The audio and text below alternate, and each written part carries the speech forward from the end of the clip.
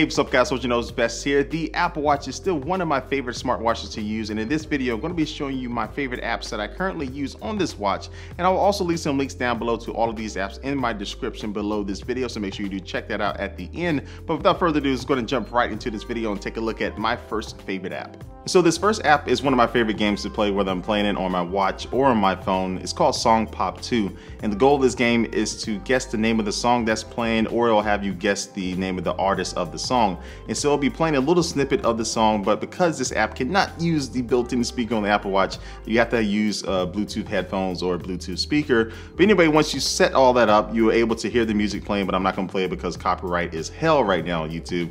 Um, but uh, you have to choose the name of the artist or the name of the song faster than your competition. Now I found that my response time on the watch is a little bit slower than if I was using this on the phone just because it's a very small screen so you really got to focus where you're tapping. But I am a beast at this game so if you find me on here definitely challenge me and I will whoop your butt in it. But again it's called Song Pop and I think it's a great game if anybody out there who really loves music you'll really like this game. All right, the next app is called Nuzzle. And what Nuzzle does is allow you to log in with your Twitter account and you'll basically be able to get all the different news stories that people are posting on your Twitter feed in a very simple, organized way that you can simply browse through and tap on it and you can view all these different news stories um, in a format that shows the pictures, shows the title, shows the website that this article is from and gives you the meat of the article itself. You can also view feeds from your friends that are on Nuzzle so you can get a bunch of information from other different sources besides your own Twitter feed. And so overall, I think this is a very quick and easy way to be able to view news content on a screen like the one on the Apple Watch. And it's very fast, very simple. I just want to check news real quick and then go about my day. And this app really does help me do that. All right, this next app is another game, and this one is really going to be testing your brain power, and it's called Rebus Zone. I think that's how you pronounce it. Um, this game gives you a couple different kind of puzzles to try to figure out. Um, this one has the letter T inside of a 10, and go ahead and guess what riddle this is going to be. Intent. Did you guess right? Yes, it was intent because the T is inside of the 10. So I like the fact that you actually use the microphone to go ahead and say your answer, then they'll let you know whether you're right or wrong. And this is a game that is really awesome just to be able to kill time with. And I like the fact that it doesn't have any timers, not trying to rush you through or make you compete with other people. The only person you're competing with is yourself. So I think this is a game that a lot of people actually find that they'll like.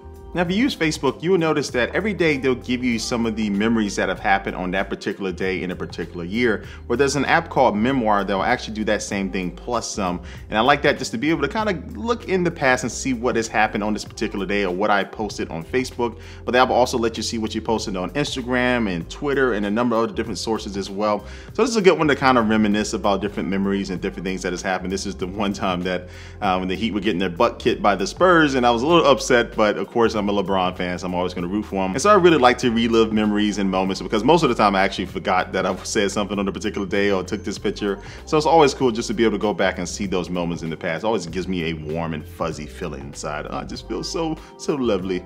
Um, but anyway, this is a cool app called Memoir. And so the last app is one that I know I have shown off on my phone in the previous What's on my iPhone video, but this one is called Dark Sky. And this is my go-to weather app because it gives you a whole bunch of information and detailed information, especially when it comes to rain. I like to know exactly when rain is gonna start. Not that it's gonna rain today, but I wanna know down to the hour and oftentimes down to the minutes. And this app is pretty accurate. Even if it's just light drizzle, it will actually let you know that light drizzle is about to start and give you some time to take cover or to finish up what you're doing. So Dark Sky is my favorite weather app, whether I'm using it on the phone or on the watch. And the sponsor for this video is one that's gonna make your life totally easier when it comes to copyright. Copyright just sucks. It is a mother, I can't curse because kids watch, uh, but copyright is just a hassle to deal with. And if you don't want to have to deal with it, the best way is just to get an image or get something that is copyright free already. And that's where Graphicstock comes in. And so Graphicstock.com gives you access to over 300,000 different graphics or vectors and images. They actually have some high quality photos and the website is dead simple to use. So it's really fast to find the image that you're looking for. And again, it's going to be copyright free. So you don't have to worry about being sued in the future or any other hassle like that. So the best way to try something out like this is to try it out for free. So if you go to graphicstock.com forward slash YouTube. You get a free seven day trial and you can download up to 140 images for absolutely free during that time period. Again, that's graphicstock.com forward slash YouTube and the link will be down below in the description.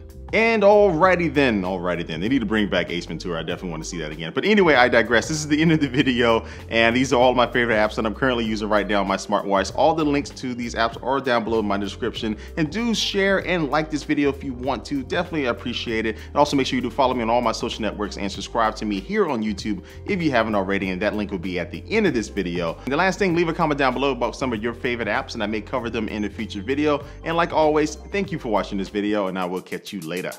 Peace.